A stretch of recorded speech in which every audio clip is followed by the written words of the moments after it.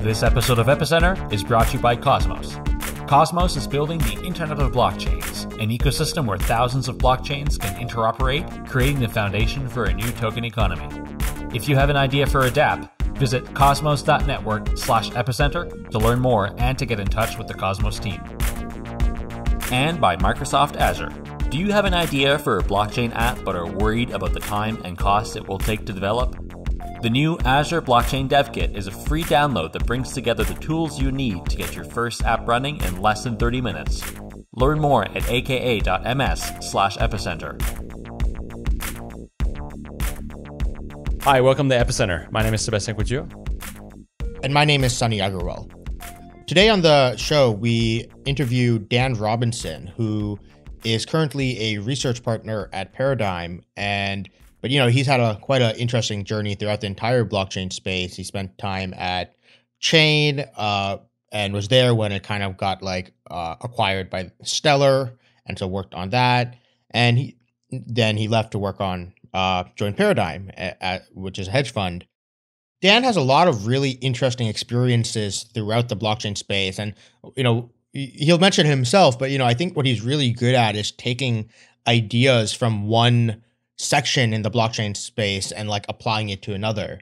So, you know, for example, like he was the one who came up with the idea of plasma cash.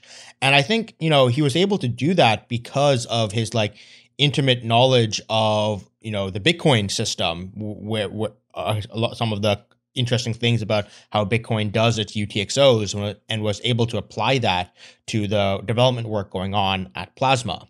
And so the main project that we actually talk about uh, uh, today is his Rainbow Networks proposal, and I think that is like a, a, a complete great, great example of this, where he takes a lot of ideas from you know Plasma and Interledger and Lightning, and kind of like combines them together into this very interesting proposal. Yeah, and it is a, a, bit of an early project at the moment. It's it's a white paper, and maybe like I think there's a blog post about it or something, or it's mentioned in a blog post. But yeah, reading the white paper probably a good compliment to the show because it is kind of technical, I guess, and requires a lot of sort of like m- mental mathematics to understand like the payment channels and how they work. But in the white paper, there are some tables there that would at least uh, help you to get a better understanding about like how these payments and how these these assets are moving from one party to another in the channels. But yeah, yeah, interesting character and kind of the link with the previous episode of last week is that Dan actually is the person who uh, got Jill Carlson to work at Chain, um, which she mentioned in the episode. Yeah, and like you mentioned, it is a bit of an early project where he mentions in the episode that you know he actually has no plans of implementing it himself but and so you know normally we at, at, at epicenter we've been trying to bring on projects who are maybe a little bit farther along on their development cycles but you know i think it's actually very interesting to also bring occasionally some of these earlier projects because something interesting about this rainbow networks thing is that it was actually a little bit of a rediscovery where this was actually what the lightning team was originally working on. So Tadge uh, Dryja, he actually worked on a project called Mirrors uh, before uh, coming up with Lightning, and that was I, you know, from from the brief, you know, like the Mirrors website is all gone and everything now, but you know, by I was digging around archive.org, the Internet Archives, and you know, I'm like, oh wow, this is actually very similar to the Mirrors stuff, and so to be like, you know, a shame if some of these ideas like disappeared into the night again, and so you know if if anyone in this uh, after listening to this episode and reading the paper is like inspired to you know take their shot at like uh trying to implement some of this stuff i'm sure like you know dan would love to like chat with you guys about this and like help you out as much as possible. Yeah absolutely. Uh, so why don't you tell us about this cosmos event coming up in a few weeks? Yeah sure. So there in berlin at the full node office in berlin uh, cosmos will be having uh, two days of an uncon uh, interchain unconference where we talk about different things going on in the Cosmos community as well as just in the Cosmos development and interchain work. And then uh, we have a two day uh, hackathon uh, where people can come and hack on you know anything they want relating to interchain interoperability. And so a lot of the epicenter guests uh, uh hosts are going to be there at uh, both of these events and you know even moderating some panels and stuff and so yeah, uh, if you if you guys are interested in uh, are in the area in Berlin and want to come hack on some stuff, uh, please definitely come check out the hackathon. I think this might be even the first time all five of us are in the same place. So we're still waiting on some confirmations, but we might all be there, which would be a, a historic event. Uh, so when is this taking place, and how can people learn more? The event is going on. Uh, the unconference is going on from the 13th to the 14th of June, and then the uh, Cosmos Hackathon uh, is from June 15th to June 16th. And you can uh, l- learn more by going to hackatom-berlin.cosmos.network. Okay, and we'll add links to that in the show notes. Uh, just one more thing I wanted to mention before we do this interview is that I am so happy to be back with my studio gear uh, that has been locked up in a storage bin for the last or storage locker for the last year and some months. So uh, yeah, I'm uh, effectively uh, hanging up my my nomad shoes and have settled back into sort of the Paris area and I'll be here for the foreseeable future. So traveling through Europe, going to some events here and there. Also, you know, obviously like hanging out in Berlin a little bit. But uh, yeah, it's really great to have my my mic again and my my sound card and like my proper lighting and setup and everything. So really excited to be back and um, yeah, getting back to working on the podcast and like uh, getting back and sort of like into the Europe blockchain scene uh, more in a more concrete manner. So, we forgot to mention how you can actually register for the event that's taking place in Berlin before the Cosmos Hackathon that Sunny just mentioned. So, effectively, there is an event happening in Berlin on June 13th and 14th. It is called Interchain Conversations, and it is a two day event with keynotes, workshops, panel discussions, and sessions on uh, protocol design, Cosmos, uh, blockchain interoperability, and blockchain intercommunication, and all that fun stuff. If you want to register, please go to epicenter.rocks slash interchain Berlin. That'll take you right to the Eventbrite page where you can register. The cost of registration is $165, but for the first 10 Epicenter listeners who register and use the code Epicenter, you'll get $65 off. So tickets will be $100. Places are limited. So if you're planning on going, I would suggest that you register uh, sooner than later. Links will be in the show notes. So come hang out with us at Full Node in Berlin. It would be great to see you. And with that, here is the interview. So we're here today with Dan Robinson, who is a research partner at Paradigm and the author of the Rainbow Network paper. Uh, nice to have you on the show, Dan. Thanks for having me on. Yeah. So, you know, I think I met you for the first time, I think two or three years ago at one of the IC3 uh, events. And back then you were working at Chain. Uh, but then since then, you found yourself working on many different projects throughout the entire space. And so we'll hope to touch on uh, a, a, bunch of them uh, in today's episode. But, you know, to start off with, you know, your, your, your Twitter bio famously says lawyer, comma, coder. And so, you know, could you tell us a little bit about that and like how you, uh, you know, how you got into the crypto space and into, you know, coding in general, coming in from a very different field? Yeah, sure. So I, I think it says coder coder comma lawyer, coder slash lawyer in that order. Um, and primarily, I don't I don't consider myself a lawyer anymore. I'm retired from the bar. Uh, but I did go to law school, and I spent a couple years as a securities lawyer in New York before I got into um, uh, working as an engineer full time, um, and then now as an investor. And you know, I think uh, it's sort of a common story um, where I ended up I went to law school without really realizing, really thinking hard about what I wanted to do. Um, and while I was in law school, realized with kind of a sense of growing dread that I preferred programming to um, to working as a lawyer. And that's around the, that's the same time I got into into Bitcoin and was uh, following Bitcoin. And then when it came out, Ethereum. Uh, yeah, you know, I just, I just sort of knew, I sort of, uh, even before I started at the law firm, that I think it was probably a, a relatively limited time, but I wanted to try it out. How did you start to, you know, get involved with coding? Like, you know, just completely self taught? Yeah. So when I was um, in like middle school, I started um, uh, just sort of programming uh, as a hobby and didn't do it too much. Like did it worked on sort of projects um, through college. While I was in law school, I took a, I cross registered into a couple courses because then I I kind of realized I really liked engineering, so I cross registered into a couple CS classes. Um, but I what I wish I'd done, and there's sort of the my my regret from college isn't. I don't really regret necessarily. Um, my I mean, you know, I, I didn't major in CS, which I think I caught up for the um, for, for the most part. But what I regret most is uh, there's a lot of kind of academic CS theory that I really do enjoy um, learning about and studying. It's kind of uh, I've been lucky to, to, have jobs where I can kind of uh, learn and catch up on that. But if I could go back, I think some of the sort of the really uh, like the fundamentals of computer science, for example, and programming language theory, um, those are areas that I ended up really liking and, and funny enough, end up kind of being relevant in uh, parts of the job. That's really interesting because as someone who is, I mean, I didn't study computer science, but I'm quite technical because I've been coding also since I was in middle school. I often regret now that I'm in the blockchain space and there are all these like sort of legal issues coming up that I would have studied law because I just find it so interesting. yep. Although it means that everybody comes and asks you these questions.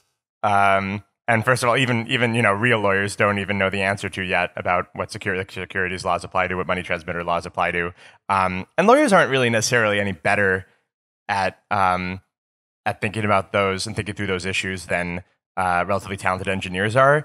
They just a have more context and b know when not to give an answer. So you're you're less likely to get sort of a stupid answer from a lawyer, um, probably. But ultimately, you know, I think it's the idea that tr- treating it as this kind of like arcane thing. At least that's how I think of like medicine. Like I have no idea how to. How, I don't think anyone uh, who hasn't been to medical school could. Uh, I wouldn't trust them to sort of open up my heart. But um, for law, like you can actually, you know, when it's just like literally arguing on Twitter, I actually think lawyers kind of overrate the extent to which there's this kind of caste uh, that you need to join in order to be able to talk about it with any kind of qualification. So last week on the uh, podcast, we had uh, Jill Carlson, and so she also got her start at Chain, and she uh, actually said that you're the one who introduced her to Chain, and that's how she got started there. So I guess how did uh, in that case, how did you get started with Chain? Yeah, so um, I left law very intentionally um, with no, uh, just sort of took a leap off a cliff um, without sort of a, a, a, job in hand or in mind. Uh, in part because I wanted to interview for places and have them not think that I wasn't serious about um, about leaving my law firm job. So I did do a boot camp called Recurse Center, which is a it was a really great program. It's a three month um, self directed uh, coding um, sort of like retreat in New York City, and you can work on sort My of whatever you want. is actually taking that right oh, now. cool. Yeah, yeah, yeah. Um, and yeah, I'd recommend it to anybody um, who knows, who you know, already knows how to program but wants to sort of get better at stuff. And when I joined that, I was like, oh, I'm going to be a web developer or a data engineer or something. And I was thinking like, just let me do the most sort of like boring, normal, employable uh, engineering skills. But funny enough, they kind of um, there I got introduced to all this stuff around programming language theory and functional programming um, that led into uh, a lot of what I was sort of obsessed with while I was at Chain on on Ivy and, and programming language theory, and all these other sort of projects. And I think uh, like learned Rust there, uh, and it sort of sent me down these weird rabbit holes that, um, as well as, as, as cryptocurrency stuff, uh, that end up being funny enough, sort of much more employable than just being a normal engineer, at least in my experience. So now you're at Paradigm. Can you give us a high level overview of Paradigm and what your role is there? Yeah, so um, I'm uh, in research at Paradigm, which has sort of two meanings. One is kind of the investment um, meaning of research, like diligencing investment, sourcing investments, um, uh, following tr- general trends in the space. And the other is kind of contributing to uh, like protocol research. So still working on um, some open source projects, working on um, uh, sort of like elaborating on some ideas like uh, this paper which I came out with um, a couple months ago called the Rainbow Network. So that was something that you know uh, I think it's, it's, it's, this was sort of great that the, the paradigm supported me in working on this kind of thing and um, uh, lets me sort of continue this kind of open source research that I've been doing. What what is the reason why like a fund would be funding like this pretty practical research into these networks? Is is there like a thesis here? This particular project just came out of my own interest um, and the fund's interest in decentralized finance um, and uh, protocols around that, and then also my interest in um, off-chain scaling. And uh, to some extent, I think it's it's hard to really get a deep understanding for something unless you try to really like uh, Im- either implement it or innovate on it.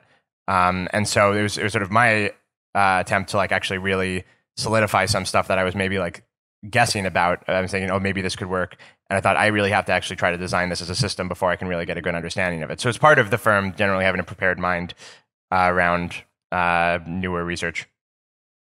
Yeah, and so you know, based on your interest in uh, off-chain scaling, you know, I was like kind of telling Sebastien earlier, you're you're you're like the layer two god. Like you know, you've worked on like basically every single layer two solution that like uh, uh, a lot of the layer two solutions that, that that you know people are working on today. So you know, just for some context, like after, so you actually after, before you joined Paradigm, you were there during that process when Chain was sort of merged with uh, the, the Lightyear to create the uh, Interstellar uh, company, and so and so there you actually started working on a project called Starlight. Uh, could you tell us a little bit about what that project was and what the goal there with, with that was? Sure. So Starlight was an adaptation of um, Lightning like payment channels on the Stellar network. And so that was something, um, yeah, that had been sort of a, it was originally, the design was originally developed by um, Jed McCaleb and Jeremy Rubin um, and a couple others from Stellar.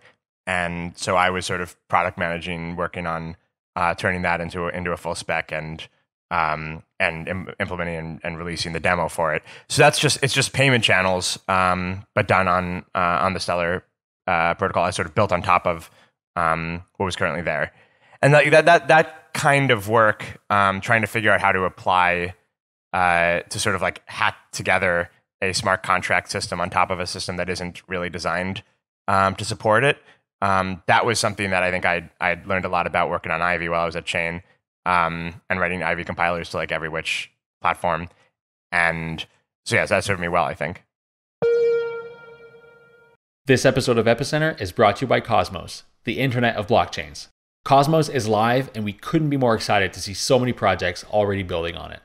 Blockchain technologies are evolving fast, and development shouldn't be one size fits all. As a dApp developer, you need the tools that will allow your dApp to scale, grow, and evolve over time. The Cosmos SDK is a user friendly, modular framework which allows you to customize your dApp to best suit your needs. It's powered by Tendermint Core, an advanced implementation of the BFT proof of stake protocol. Cosmos takes care of networking and consensus and allows you to focus on building your application in your language of choice. Ethereum smart contracts will be supported soon, and the SDK makes it simple for you to connect to other blockchains in the Cosmos network. If you have an idea for a dApp and would like to learn more about the Cosmos SDK, or if you'd like to connect your existing dApp to Cosmos, visit cosmos.network slash epicenter. For Epicenter listeners, the Cosmos team will reach out to answer your questions and help you get started. We'd like to thank Cosmos for their support of Epicenter. So, moving on to some other work that you've done, uh, tell us about the work you did in Plasma Cash and Plasma Debit. Plasma. So, I I was first sort of like learned about Plasma.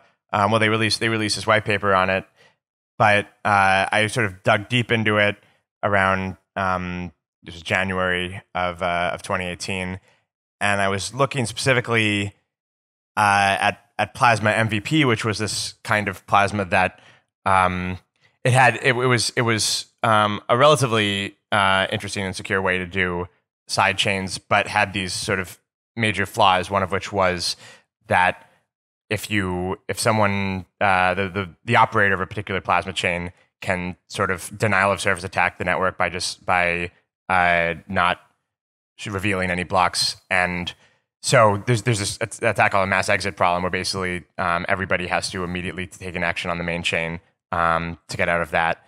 And the other the other problem with it is that you have to validate basically the entire block um, on the side chain so you don't really get it as a scaling solution. And so uh, Plasma Cash comes out of thinking about, um, well, how do we pare down the feature set that this side chain allows um, in order to make it uh, make the burden on the user much uh, much lower and make the uh, make make it generally more secure. Um, and it actually takes a lot of ideas, I think, from payment channels. And something that I worked on a little later, um, Plasma Debit, uh, carries that even further in terms of like really drawing an analogy between these payment channels and payment channel networks like Lightning or Interledger, um, and applying it to uh, Plasma to Plasma Cash, building it, putting it on top of Plasma Cash. So what what is your like current involvement on the Plasma project? Like, do you, are you like actively involved with development, or was it sort of you just like kind of proposed it and then kind of let other people carry like you know, take it over after that? Yep. So my, my modus operandi usually is is not to stick around too long for all the really hard actual work, and that's what Plasma Group. um, uh, Plasma Group is a fantastic team, and they they've been sort of like really uh, carrying forward both the research and the implementation on Plasma Cash. But I, I'm still I'm still I'm still close with them, and I sort of like uh, look at follow their designs and discuss it with them um, when we meet up at research workshops. But for the most part, they're the ones carrying that forward. Right. Yeah, and so uh, to the listeners, we actually did an episode about maybe a year ago with uh, Karl uh, Floersch uh, about Plasma Cash, actually. So, you know, if you're interested in learning more about like the actual technicals of how Plasma Cash itself works, uh, which Dan proposed, and so you know, take a look at that, and then uh, follow up with the Plasma group to see what the latest developments are. And so, you know, I also know you're pretty involved with the Interledger project as well. Yet, yet another second layer network you're involved with. Uh, and did this come out during your time? Like, so, you know, you gave a great talk at the uh, Stanford BPASE conference uh, back in January, where you kind of talked about why HTLCs are harmful and some of the issues you see with the Lightning Network. And then you propose that Interledger seems to be the solution to most of those issues. Were these issues you uh, came across during your development of Starlight? And is that what pushed you toward Interledger? Yeah, so I learned about Interledger um, a couple years ago, mostly from Evan Schwartz, one of the inventors of the protocol, um, along with Stefan Thomas. Um, and they, um, you know, I originally sort of like, they, originally saw it as something that actually technically looked a lot more like Lightning. It had these HTLCs uh, sort of enforced in the protocol. And then they kind of had this realization that you can do it another way and that you can uh, do this, this method that I described in that, in that talk of instead of having these really complicated smart contracts, just uh, for, to, to, enforce atomicity across a multi-hop payment, you just send a really tiny amount over and over again, um, and so the uh, you can enforce atomicity just sort of like uh, um, down to epsilon, down to a particular limit, and uh, it's a it's a very clever solution. And that that in particular is what I fell in love with uh, about Interledger was that that one design. But I think there's a lot of other really clever designs that they've um, uh, and, and choices that they've made. So yeah, I learned about that from from Ripple. Working on Starlight, um, originally I was planning to implement it like Lightning, like H, with HTLCs, like so in the Lightning just, network. Just for context, uh, Dan, could you just explain what it, an HTLC is? Yeah, absolutely. So an HTLC is a hashed time lock contract. It's a very specific smart contract, um, a very simple one where this this was originally developed for cross chain atomic swaps. Um, so the canonical example is Bitcoin and Litecoin, and the basic idea, and Satoshi had sort of a, simple, uh, um, slightly more complicated version, which is simplified um, by like TierNolan, on on the Bitcoin wiki. Anyway, uh, the basic idea is that you lock up some money on the on the Bitcoin chain, and then you lock up some money on say the Litecoin chain. Um, Alice locks it up on Bitcoin. Bob locks it up in Litecoin, and then there's this secret that um, Alice knows that can unlock both of them. Um, so Alice reveals the secret by by unlocking Bob's locked up Litecoin and receiving the Litecoin, and that gives Bob the information he needs to um, get it from Alice. And you need to have a timeout so that Alice can't just withhold this this inf- information indefinitely. But that's the uh, you know the, you've staggered timeouts on those, um, so it gets a little more complicated. But that's sort of the core idea. And then Lightning had the innovation of doing this inside payment channels rather than on the main chain. Um, you have you have uh, if you have Alice's payment channel with Bob, Bob is a payment channel with Charlie. Um, you can put HTLCs in those payment channels to ensure that a payment from Alice to Charlie that goes through Bob happens atomically. It was a very clever idea um, that uh, Joseph Poon and Tadge Dryja had for Lightning originally, um, adding putting these HTLCs in payment channels. But uh, what Interledger realized um, uh, after originally designing their protocol to, to sort of require these, these enforced HTLCs is that there's an easier way, especially when you're working in payment channels and payments are super cheap. Updates are super cheap. You can just have Alice make a small payment to Bob, and Bob makes a small payment to Charlie, and then you just do that over and over again. If any if at any point someone aborts the protocol, you just stop, and they've and someone has only lost a relatively small amount. Okay, so if I understand correctly here, the idea is that rather than putting locking up money in these uh, in these contracts, you sort of send payments a little bit more like you send packets in internet routing. So you That's send exactly smaller right. bits, and if one piece of that gets lost in transit, well, then you know you might want to take action or you know send it again or something like that. That's right. So it's it's a little different from packets certainly because packets are designed to be lost, basically.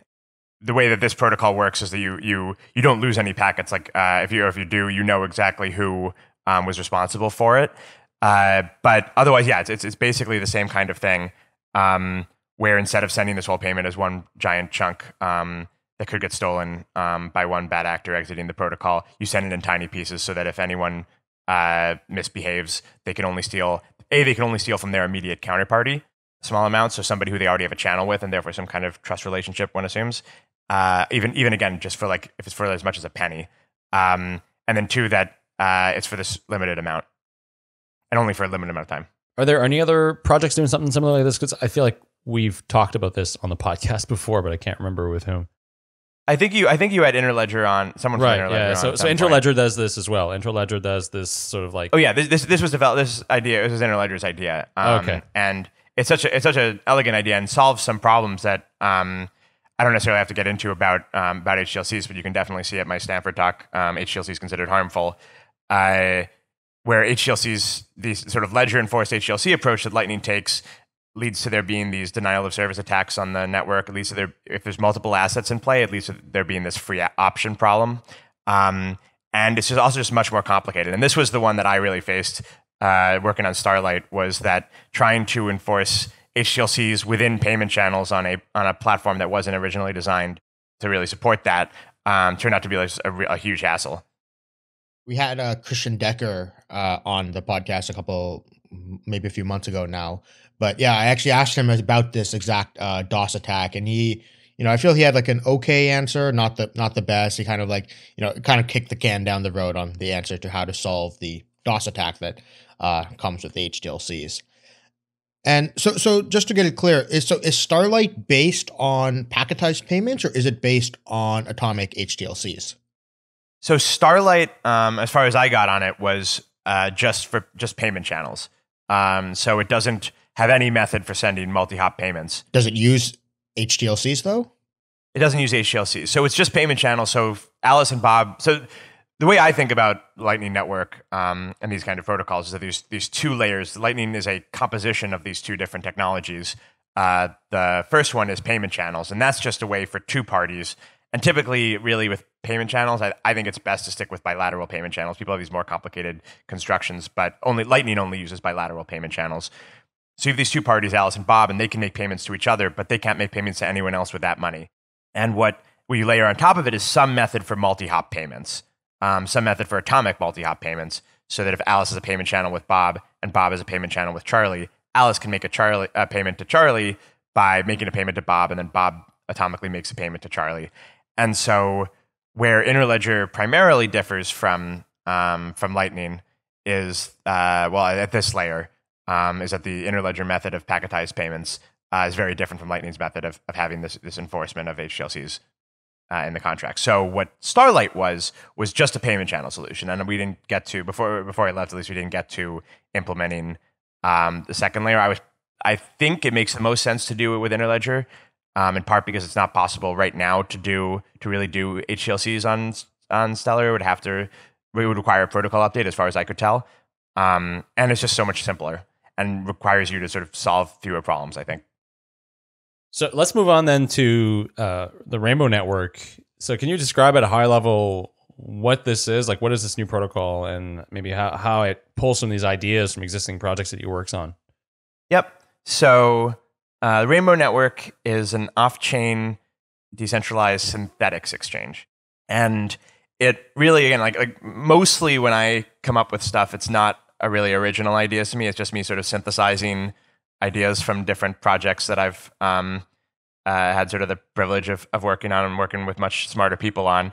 and those projects very often sort of tend to be maybe more siloed, and so they'll come up with something really clever like Interledger did, and it won't necessarily filter out to the uh, to the broader ecosystem. And so um, Rainbow takes from takes a few ideas, takes some ideas from um, these on-chain synthetics uh, like Maker and um, uh, and Uma.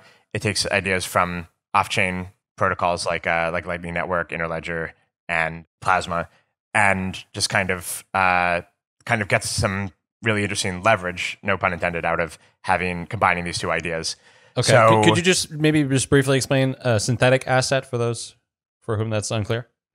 A synthetic asset um, is uh, informally it's an asset that is backed by some collateral that isn't um, that ass that isn't that actual asset. So it's it comes out of it's a derivative, and it come it, basically comes out of this on on the blockchain is one that's backed by another asset. It could um, in theory be backed by credit. The basic idea is that instead of uh, you you actually owning an asset, like me selling you an asset, I can sell you just the exposure to that asset. So I can just say like I owe you the price of one Bitcoin um, at any point in time, and uh, a year from now, like I can make I can make that payment to you and settle that without us ever actually touching Bitcoin.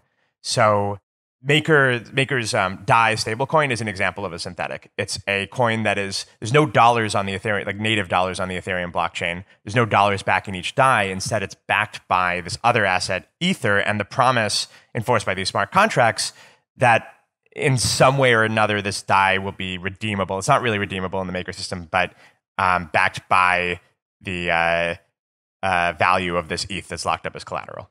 Okay. So would you say then that like US dollars backed by gold would have been a synthetic asset? Similar? um, well, the the one difference there maybe if it's backed by a fixed amount of it, it's not really a synthetic. It's more of just like a like an IOU for that particular asset.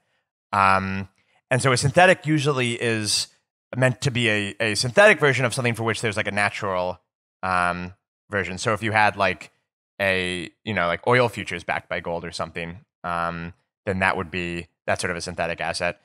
Um, but yeah, so the, the basic idea being that it, you get the exposures to this particular asset, um, but you don't actually need to deal in the natural one itself, the asset itself. Do synthetic assets always need over collateralization? Not necessarily, especially if you're willing to take credit risk. So you could imagine um, two parties, if one of them trusts the other, um, I can give you a synthetic a synthetic exposure to this particular asset, yeah, without it being fully collater- collateralized on my end. A synthetic asset on a blockchain, typically you want it to be fungible. You want it to be acceptable by anybody if it's an on-chain synthetic. Um, and so it does. Uh, you think it would it needs to be at least um, fully collateralized. And the problem is if the synthetic price rises faster than the collateral price, you could have a, a asset that's fully collateralized become under collateralized. That's kind of the nature of the of working with synthetics. But I think it's you know so so you you can have someone required to deposit more collateral basically to um, fill it up, and that's what the that's what the maker system does, and it penalizes someone who doesn't by um, with this liquidation penalty. Okay, so let's go back into with that with that context. We can now go back to Rainbow.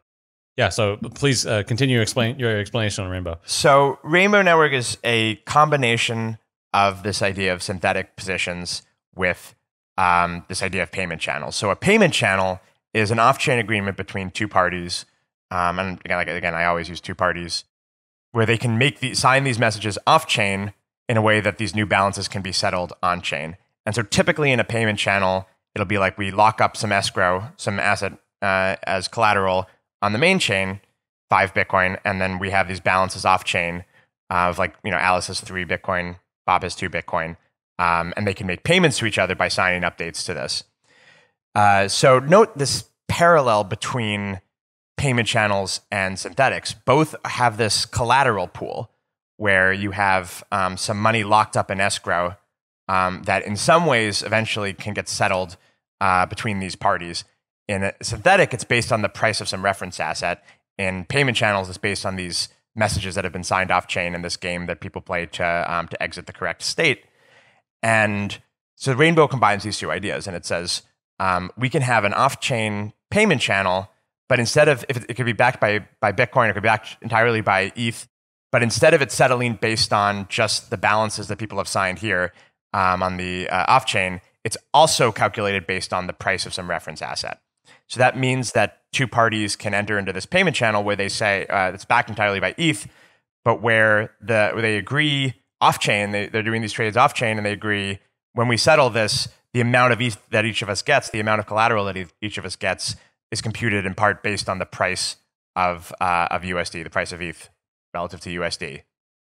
So that's what allows them to do these to trade basically any asset they want, even with only ETH as collateral on the main chain. I think most of our listeners will have some fundamental understanding of Lightning Network and how payment channels work. And there, it's it's pretty.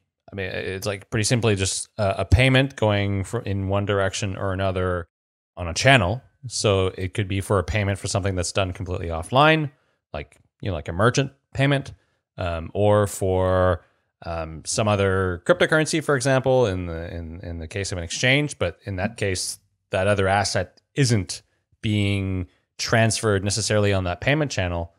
Um, so, for example, you know, Alice wants to buy some Bitcoin from Bob.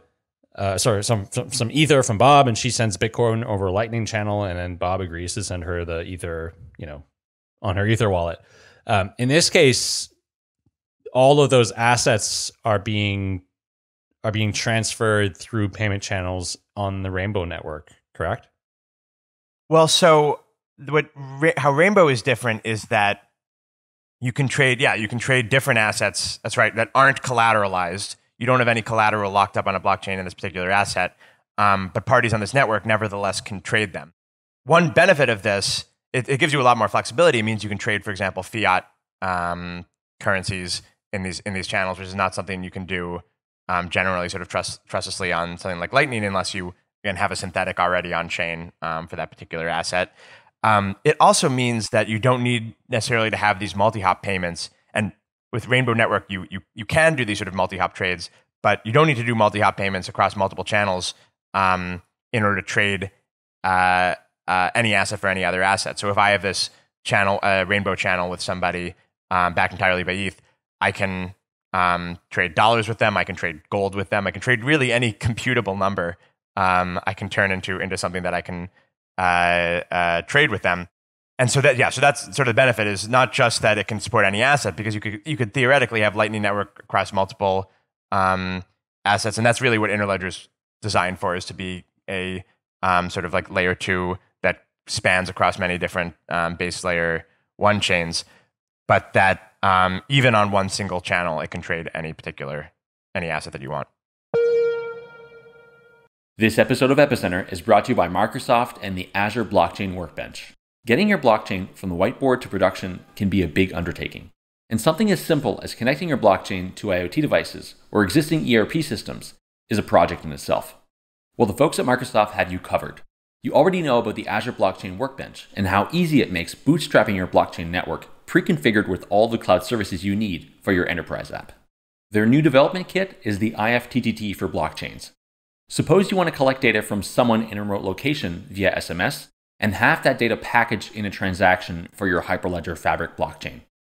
The development kit allows you to build this integration in just a few steps in a simple drag and drop interface. Here's another great example.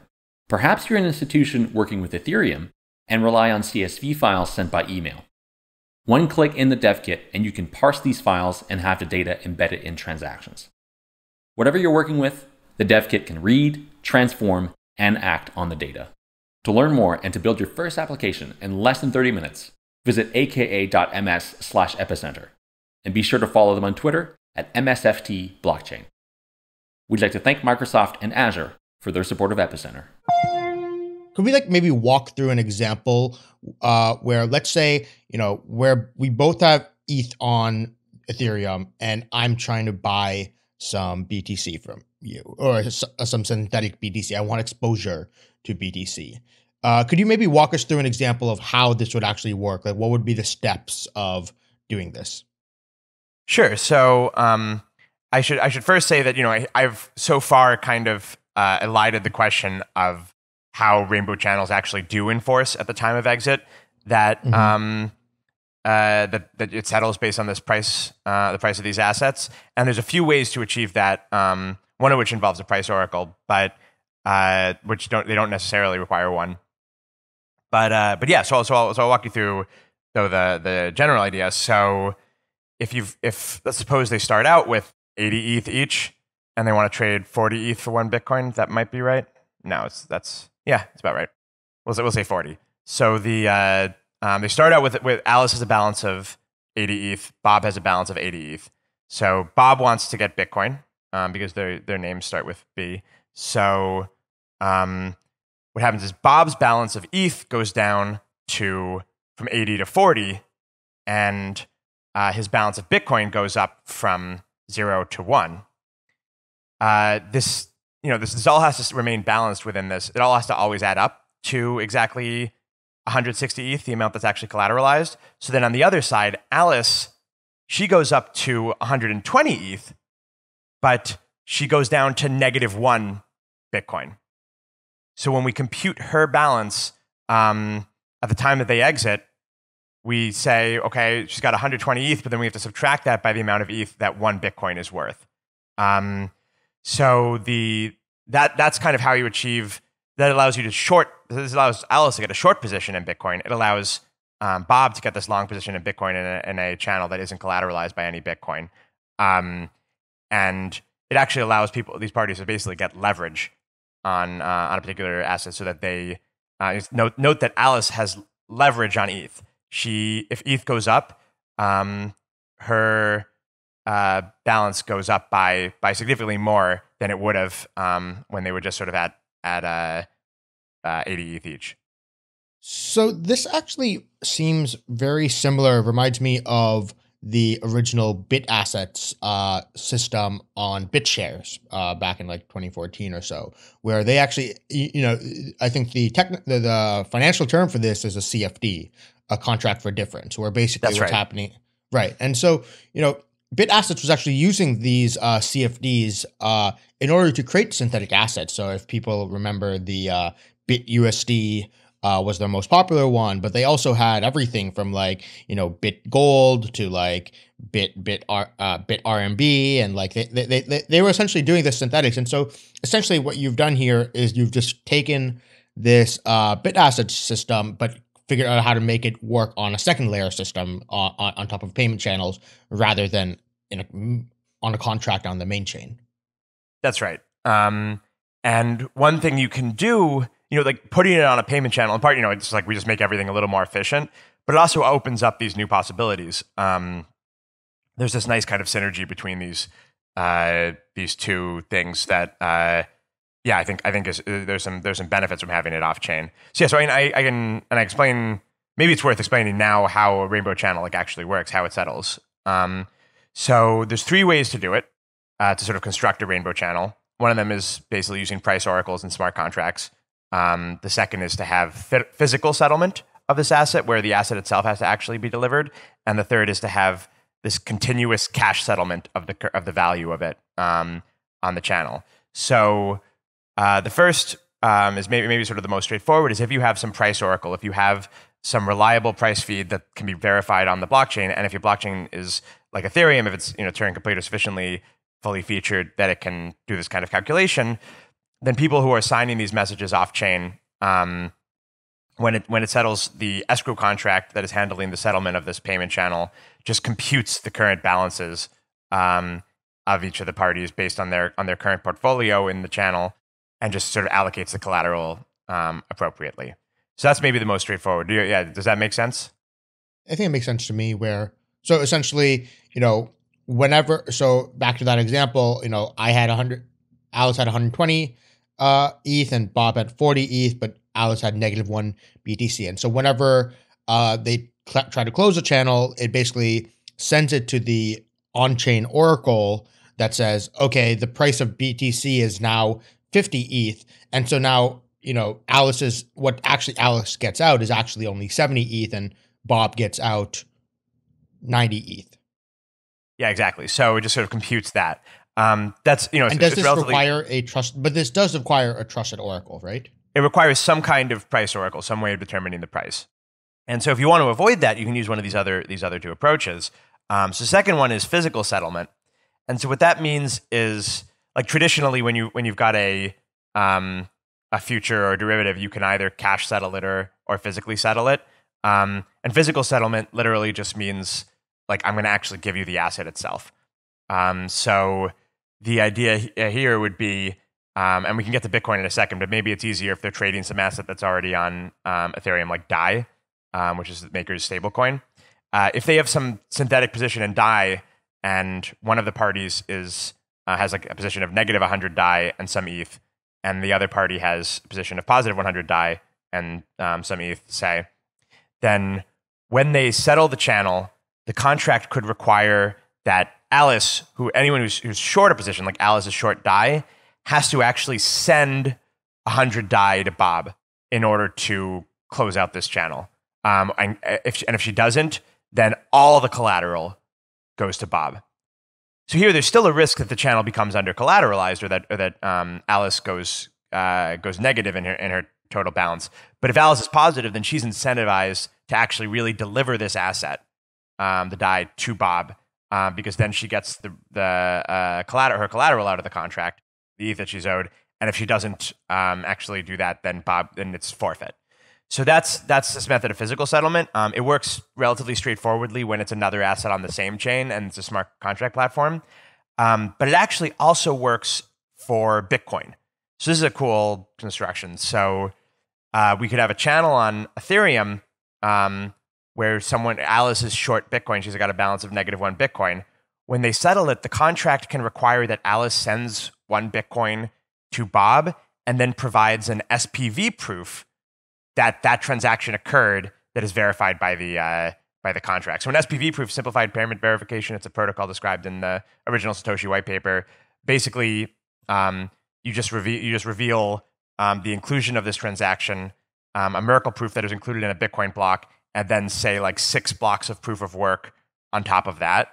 Um, and this proof can be verified by a light client. It can also be verified by the Ethereum chain, for example, itself. So of course Cosmos works um, using uh, uh, using SPV proofs. Uh, in this case, this is a Bitcoin. This is a proof of work uh, SPV proof. But the idea would be Alice would have to send one Bitcoin to Bob, generate an SPV proof that it was included in the Bitcoin blockchain, and then reveal that to the Ethereum smart contract, which is programmed to verify it. But so this only works with blockchain native assets, right? That's so I right. can't do this for dollars, for example.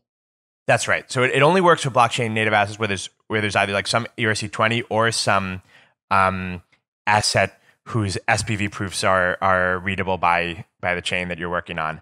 Um, so yeah, so it's, it's it's limited in its application certainly. When you have that and you have either these SPV proofs to other systems or, you know, yeah, wh- what's the benefit of using a synthetic in this case instead of just using, you know, just trading on actual Bitcoin? Um, well, it's it's that we can you can do whatever trades you want with your counterparty, and you can trade Bitcoin with them while only having say ETH locked up as collateral, right? So it's much more flexible. If you were to do this in Lightning, you would have to have some Bitcoin locked up in a in a Bitcoin payment channel, have some ETH locked up in that in the ETH payment channel, and then do atomic payments across those. But this is generally more flexible that you can um, that you can do that. So you mentioned this this third way of settling, which is to have constant stream of of uh, payments. Can you describe that? That's right, and this is um, people have noted that like this this idea um, is kind of inspired by the interledger idea I was I was talking before, and like this is just generally true that basically every every idea I've ever had was stolen by someone else, or whatever, uh, st- stolen by me from someone else who had like a like a really clever idea, and I just sort of apply it um, to everything I can I can find.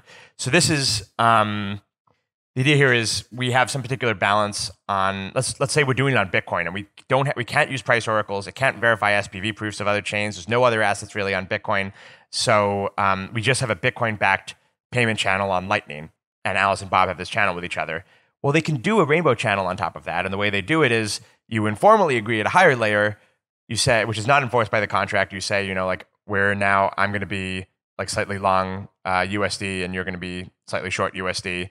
Um, so we basically traded Bitcoin for dollars on this channel, and then as the price of fiat changes, um, you like every five seconds update, uh, sign an update to uh, update the payment channel so that you can update your balances. So if it was five Bitcoin and five Bitcoin, and then someone traded four Bitcoin for eight, uh, sorry, sorry, one Bitcoin for eight thousand dollars, so it became a balances of four Bitcoin and eight thousand dollars and six Bitcoin and negative four thousand dollars, then um, the current update still looks like five Bitcoin, five Bitcoin as far as the Lightning protocol is concerned.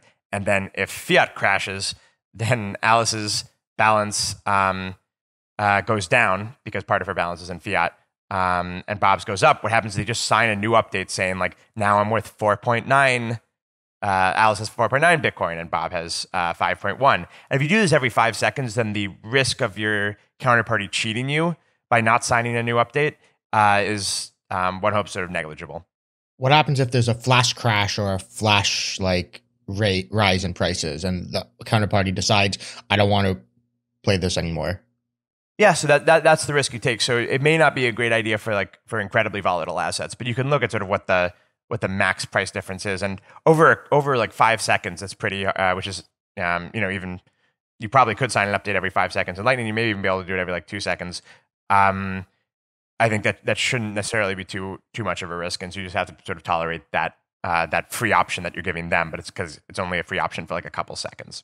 So no, th- this is one of the areas where you get this new benefit from doing it in with payment channels from doing this protocol off chain. This is not a protocol that you could do on chain because it requires these updates every five seconds.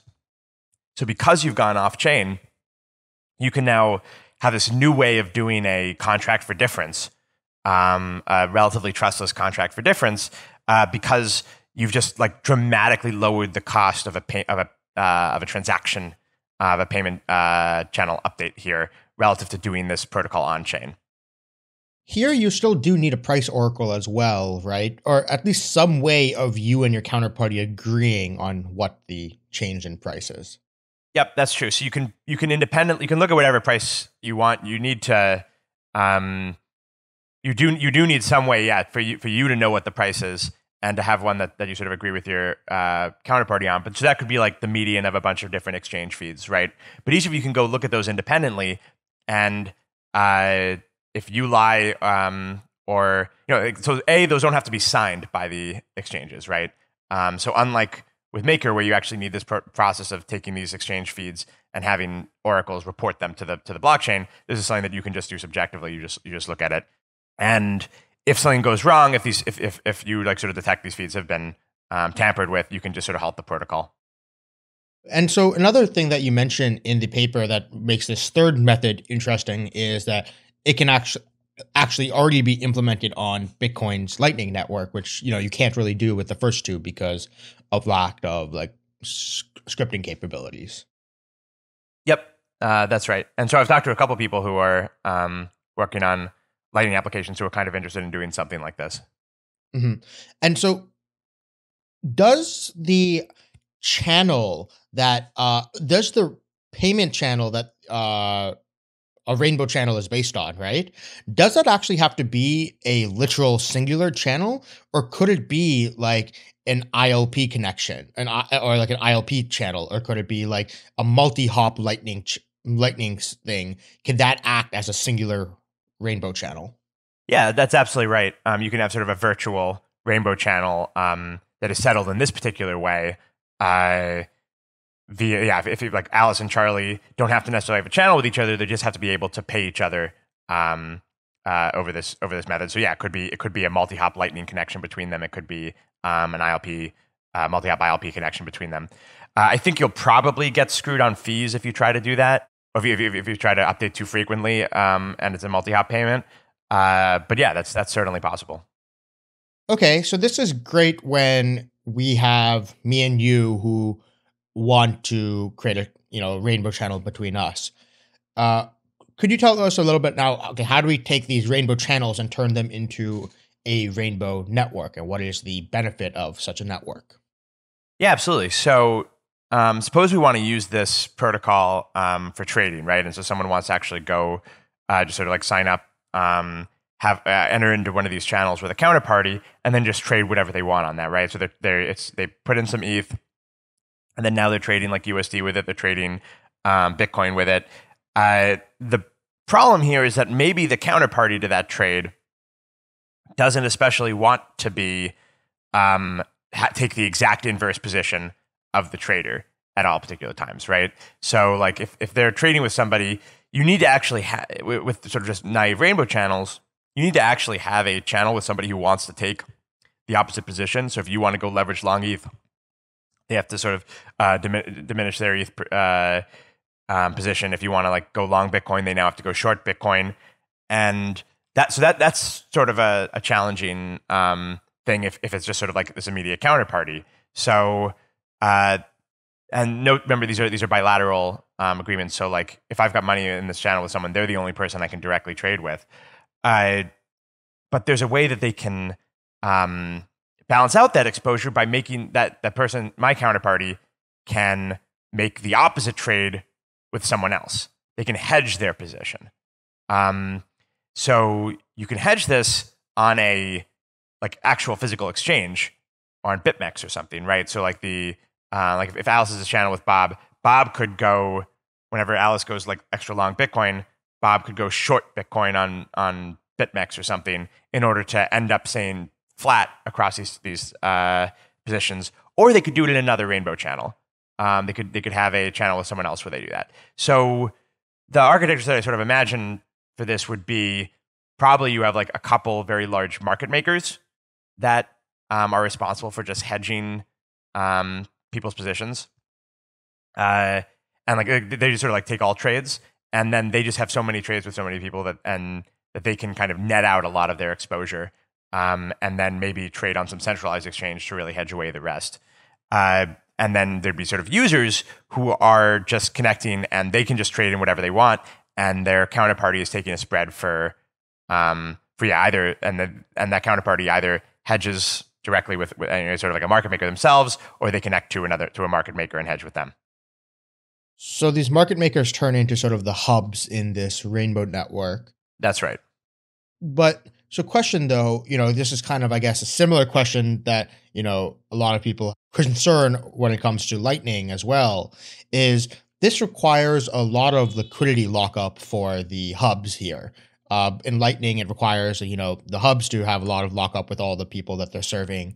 And here it seems that in order to like connect two people in a, you know two opposite rainbow channels with each other, I have to, as the market maker, lock up collateral on both these channels. And this doesn't seem a very capital efficient uh, way to do this.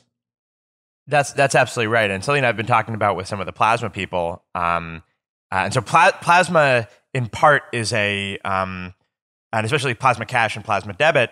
Um, I consider them there is they're an attempted solution to this particular problem with Lightning, which is um, this this extra capital lockup, um, which yeah was absolutely also a problem in uh, in Rainbow.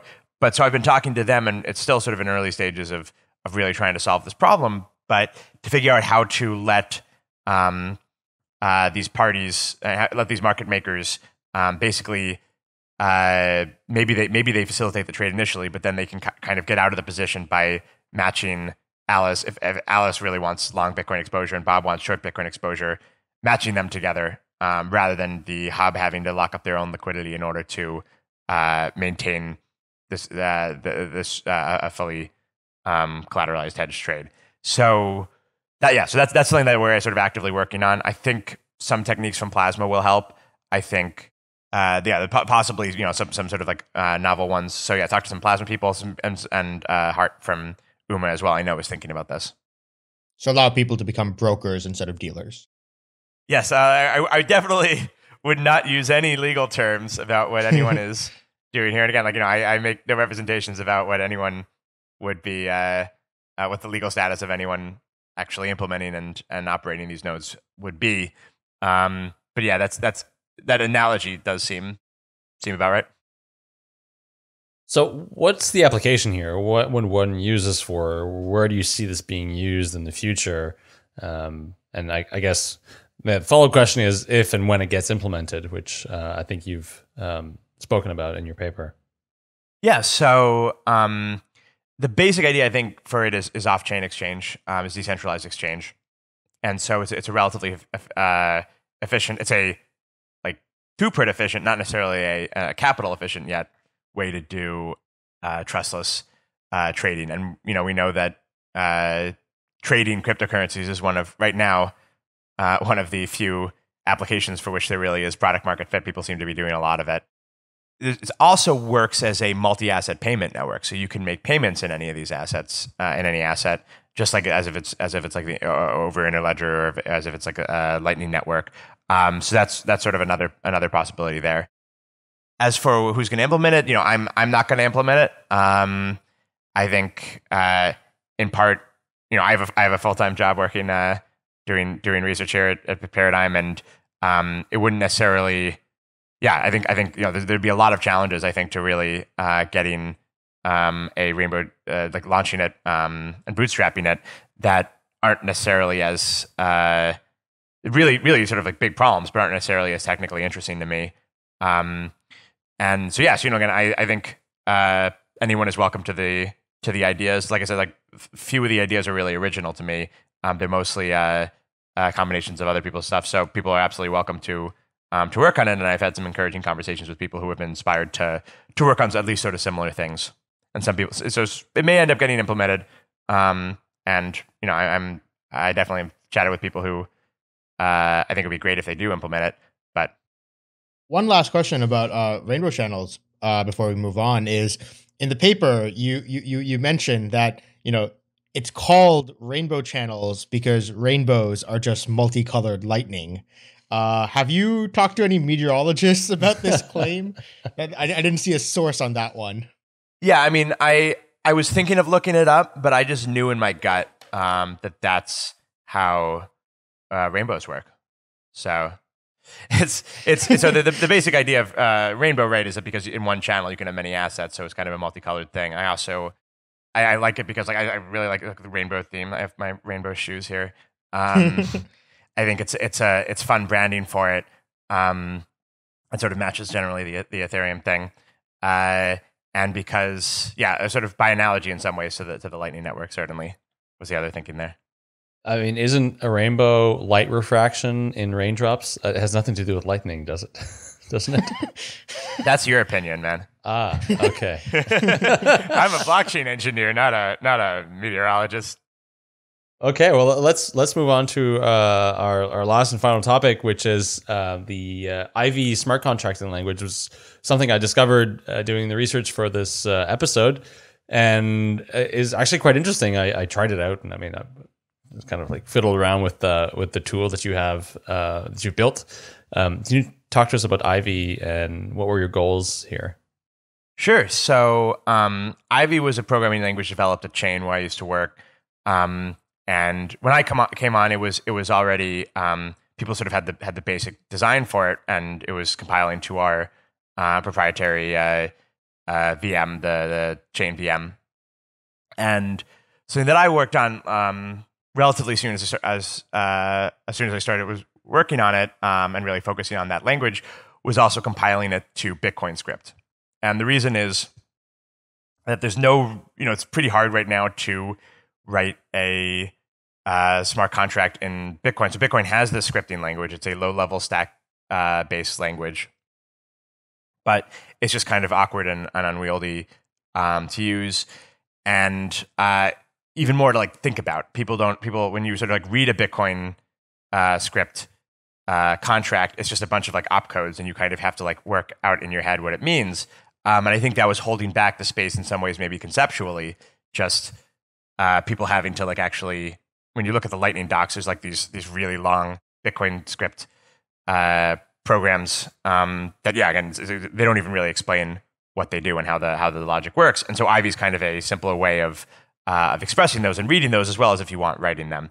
Um, so mostly I see it as an educational tool and one that maybe was I was trying to sort of help people understand like the functionality of Bitcoin script and how what these important Bitcoin script programs actually do. Um, so yeah, so I so I came out with this with the uh, so I worked on this tool and Chain was very supportive um, generally of me working on it. Everyone there really likes Bitcoin, so they were supportive of me working on it. So um, with uh, with one of my other colleagues, Boymeyer, we released um, a uh, uh, this playground for the uh, for Ivy and uh, sort of a very limited SDK and compiler for it. Um, I found that really enjoyable, and I, I, I think it, it, helped me thinking about Bitcoin script. It helped me thinking about sort of smart contract programming language design. But really, yeah, again, it, it was meant, I think, to to mostly teach about um, both Bitcoin script and the limitations of Bitcoin script. So when people try it out, and I can say, imagine if we had this opcode, here's the kind of program you could write. It was a hard kind of argument to make when people are stuck in the low level of just looking at these uh, stack based languages. I, I played around with it a little bit as well, and you know I really like it as a contracting language for like if you're if we're talking about like real financial use cases. It seems like you know it's a very declarative language, and so you know I, I like to phrase it. I, I haven't tried this yet, but I have a feeling I could maybe get an account like teach an accountant to write this write using uh using Ivy because it, it, it's very simple. It's just like a set of like you know very very English readable and like just saying like oh this is the constraints that like this money is spendable if these constraints are met. So like you know if this much time elapsed or whatnot. And so I, I think it's a really cool language, but you know it never really saw much wide adoption, right? And so you know I, I you know I, people have played around the playground and stuff, but like do you know of anyone like actually using this to like deploy real Bitcoin scripts in the real world? Yes, I mean, um, first, I really hope nobody is using it to deploy real Bitcoin scripts on mainnet because you know it, it's it's while we we worked as hard as we could to kind of get rid of a bunch of the bugs in it, it's definitely not. Uh, it hasn't been fully audited, um, and there may very well be bugs that someone that, that you could do if you uh, you know could find in the compiler. So I hope nobody's and there's a lot of warnings on it. You know, this is for educational purposes. There's no um, please don't use it on mainnet. The reaction from the Bitcoin community. So I was somewhat worried. Um, and as someone who I, I, consider myself, you know, like part of the Bitcoin community, and I got a foot in the Bitcoin community, and I really like them, um, but also um, in Ethereum, and then I've got friends in, you know, like uh, we're going to Ripple with with Interledger and Bitcoin Cash. Um, some people like I, I was I was a little worried that the Bitcoin community would react negatively um, to this and say like we don't want smart contracts, smart contract languages are dangerous, or like or sort of criticizing it. And we didn't get that reaction at all. Um, but maybe got something worse, which was um, people saying, aha, look at this. And, you know, the reaction was very positive, but it was, this is great. Look at this. See, Bitcoin already has smart contracts. We don't need to change anything. And as I hmm. said before, almost my entire goal with the with the language was to sort of show the limitations. Um, and you know, I, I, appreciate that you like the language. Like I find it I find it somewhat frustrating because there's a lot of features that I'd really like to add that I think would be would be useful mm-hmm. that you can't because not, at least not in the Bitcoin version because of the limitations of Bitcoin script. You don't have you don't have covenants. You don't have a string concatenation opcode. You don't have the ability to check a signature on data um, other than the tran- than the transaction hash. And uh, I was sort of hoping by by showing this and using it as an educational tool that I could say, okay, here you go, like, and here's what uh, the cool thing that we could do. Um, if we had a if we had more expressive opcodes. Uh, but for the most part, you know, I still I still hear people sort of referring to it as, look, see, we can do smart contracts on um, Bitcoin with Ivy, but it's like you can't a you can't do anything more. You know, it doesn't add any features to Bitcoin certainly because it's entirely compiled to Bitcoin script. But also, yeah, I mean, like like look at how limited it is. Like you can do a you can do a couple things. You can verify a few things. You can basically write a multisig, um, custom multisig or like HTLC or something like Lightning with it. Um, but yeah, then so so as far as people deploying actual applications, so the only two smart contracts that are used on the Bitcoin on Bitcoin main chain are multisigs, um, which are generally very simple constructions, and Lightning. Um, that's that's basically it. Um, I guess Arwen I think has a different payment channel protocol. So um, yeah, maybe like just, I'd say payment channels in general. For those, um, I'm actually not surprised. I think that people aren't using Ivy in production because I wouldn't suggest that they do. You know, like uh, is able to write really efficient Bitcoin scripts, and there, there's only a couple scripts they have to actually write. Um, so I wouldn't want them to like write it in Ivy and not actually uh, figure it all out by hand and test it. Uh, so because it's something that you write once and then use over and over again. What I'd really like to see, I think, and this is a blog post I've meant to write for a while, is trying to explain the Lightning scripts uh, as an educational purpose, trying to explain the Lightning scripts using Ivy. Um, and that's something that I think I just would have to do and haven't had the time to. Any plans of maybe having Ivy compile to more expressive systems? Like, for example, you know, Bitcoin Cash does have the uh, check data sig, or even like something like EVM, where like you know it's a much much more expressive VM, but it would be still nice to have this very easy to use language. Yeah, I've, t- I've talked to a couple of people who are actually adapting um, every once in a while, someone comes to me saying they want to adapt Ivy for Bitcoin Cash. It's like coffee script for blockchains. yep, yep. Um, and I've actually so I, re- I wrote Ivy compilers to I wrote one to the EVM. I wrote one to to Chain VM and TXVM, um, which were the VMs that we worked on at uh, uh, at Chain. I wrote one to to Michelson, which is um, Tezos's smart contract language. Um, and for a while, I was just like implementing compile Ivy compilers are fun. I think honestly, like I, I think it's it's not it doesn't have enough features even even when you sort of like add these other opcodes to really be um, be fully useful as a smart contract language. Um, so I I'm you know again like I, I wrote uh, test one two um, that, that works on Ethereum and you can do some cool stuff with it, but you couldn't you couldn't implement Plasma in it. You couldn't implement payment channels. Uh, well, you, you could implement payment channels in it, but not really like uh, necessarily the the right kind. I do think there's room for a declarative programming language for Ethereum, um, but I've sort of moved on mostly from programming language design, uh, for better or worse. So I hope someone comes out to do that, but I think there's still going to be a big lift to do it. okay, so where can people find you, and where can people uh, learn more about everything you're working on? Sure. So um, if you want to learn more about Ivy, you can go to um, Ivy hyphen lang l-a-n-g dot org. And that's the um, playground that i mentioned which allows you to uh, sort of a in-browser ide um, for writing these these uh, bitcoin scripts using ivy um, you can find more about the more out about the rainbow network by going to rainbownet.work um, and that's the rainbow that's where the rainbow network paper is hosted. And generally you can find me on twitter at, at Dan Robinson on Twitter. And that's uh, uh, my DMs are open, and I love to hear about people who are interested in these in these same topics. Okay, great. Thanks for coming on the show. Thanks for having me. We release new episodes of Epicenter every week. Click here to subscribe for hundreds of insightful interviews with some of the leading minds in blockchain and crypto. You can also listen to the audio version of the podcast on iTunes, Spotify, Stitcher, and other podcast apps. Click here for a full list of places where you can listen. Thanks for watching Epicenter, and we hope you'll join us for our next episode.